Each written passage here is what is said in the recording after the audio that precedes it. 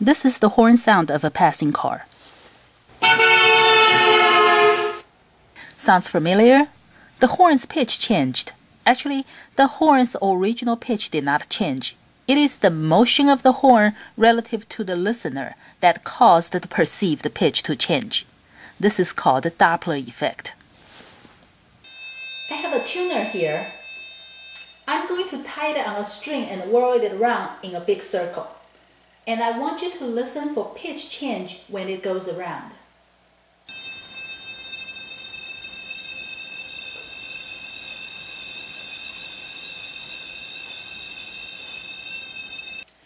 Did you hear the pitch shifted higher when the tuner moved towards you?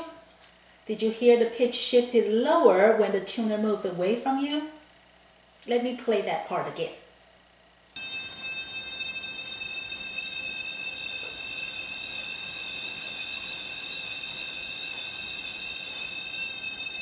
Doppler effect happens when the wave source moves toward or away from the observer or when the observer moves toward or away from the wave source. Or we can have both the wave source and the observer moving at the same time. As long as the two are getting closer, the perceived frequency will be shifted higher than the source frequency. As long as the two are getting farther away from each other, the perceived frequency will be lower than the source frequency. That's why the horn sound of a passing car is like this.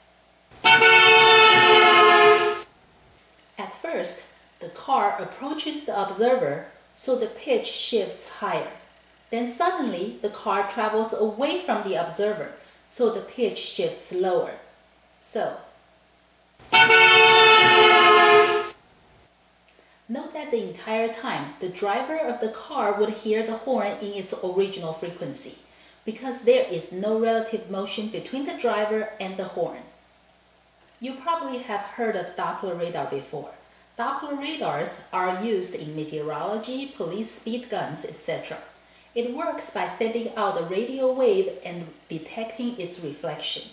When the radio wave hits an obstacle at rest, the reflected wave's frequency stays the same. However, if the obstacle is moving, the reflected wave's frequency would change due to Doppler effect or Doppler shift. Using the frequency shift of the reflected wave, one can calculate the velocity of the obstacle. Doppler effect happens to different kinds of waves, but we probably hear about it mostly for sound and light waves. Now let's take a look at how Doppler effect happens. This one shows the wave fronts produced by a stationary wave source. This one shows the wave fronts produced by a wave source moving to the right. In this case, the wave source is moving at 70% of the wave speed. So if the wave fronts look like these, what can you say about the motion of the wave source?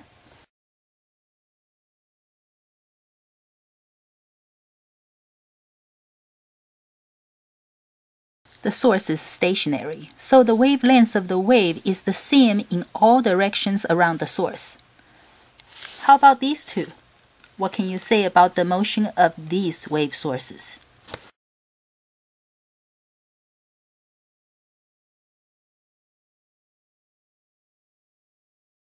Both of these wave sources are moving to the right. And which source moves faster? The one on the right moves faster. That's why the circular wave fronts shift to the right more than they do in this figure. If you are an observer on this side, you would observe a wavelength that is shorter than the original wavelength.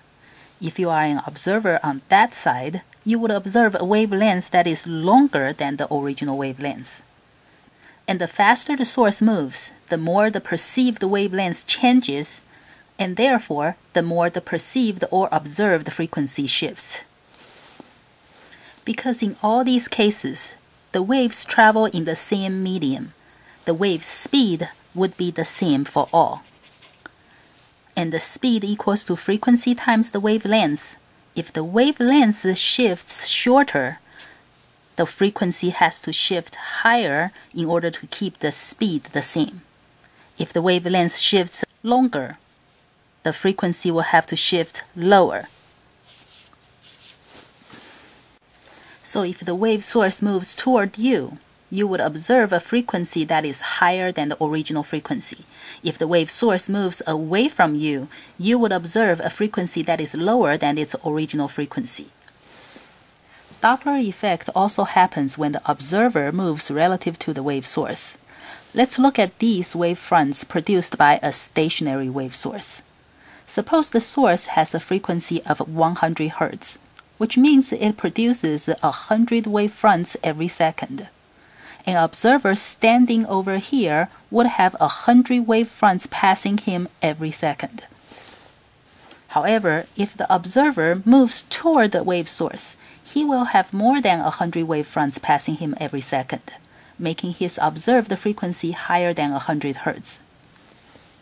On the other hand, if the observer moves away from the source, he will have fewer than a hundred wave fronts passing him every second, making his observed frequency lower than 100 Hz. So if you move toward a wave source, you would observe a frequency that is higher than the original frequency. If you move away from the wave source, you would observe a frequency that is lower than the original frequency.